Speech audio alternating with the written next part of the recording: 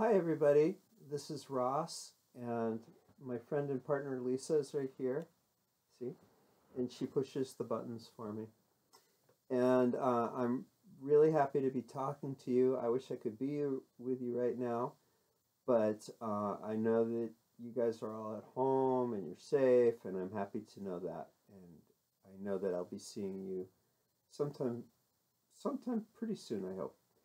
And um, let's see. I'm supposed to say hello to you from everybody at the River Gallery, from Helen, from Jen, from um, Lauren, and from Donna, and Lydia, and Eric.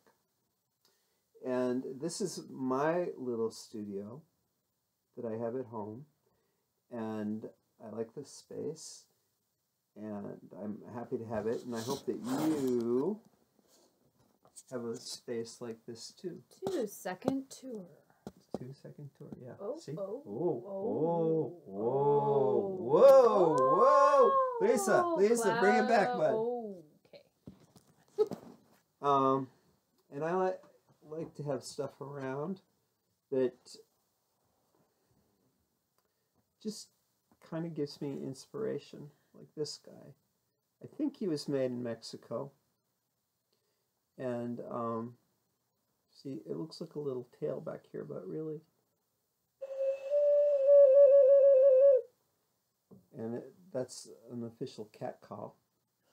This is Lulu, who is our cat.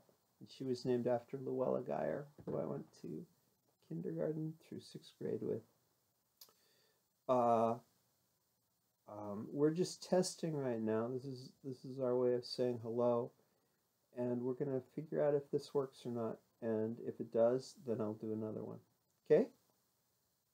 Bye. And we hope you're making art. Yes.